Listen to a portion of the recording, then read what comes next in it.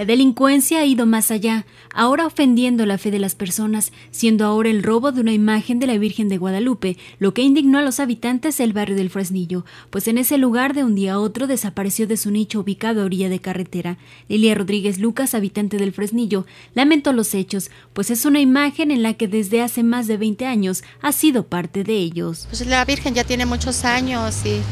pues ¿para qué la quieren? Si la van a pues como burla o qué, o sea, la Virgen es para pedirle, la Virgen no hace milagros, ella intercede por nosotros ante su Hijo para que nos, todo lo que nosotros le pedimos. Y no se vale, a mí me gustaría que, la regresaran, no sé, aunque me pidan dinero, yo pago lo que sea por, porque me regresen mi Virgen, porque ya tenía muchos años, ya es, Virgen de aquí de la caseta, de todos los vecinos, todos, todos queremos a la Virgen. La Virgen Morena, de metro y medio de altura aproximadamente, llegó de Catedral de la capital del país con apoyo de antorchistas y poco a poco se le fue construyendo su nicho en el que diariamente pasaban los habitantes a encomendarse y recibir la bendición para tener un día favorable, explicó Rodríguez Lucas, por lo que el nicho lucía abierto continuamente. Hace tiempo se ponía un candado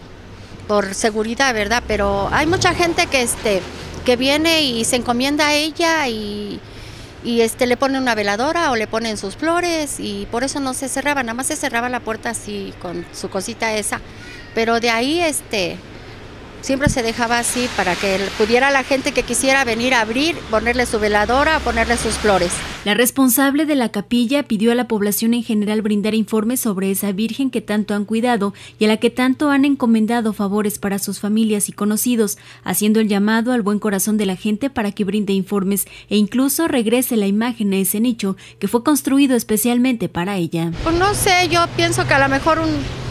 maldadoso que quería para su copa o algo, porque pues tenía, a veces en los festejos de cada año se le dejaba abierto y nunca había pasado esto. Ay, pues que me regresen mi Virgen, por favor, yo le suplico a la gente que, que me regrese la Virgen y pues que vamos a dejar abierto hoy para que alguien, quien quiera, venir y ponerla y no no pasa nada. Con imágenes de Ernesto Vázquez para Informativo 9, Vanessa Enríquez Sayago.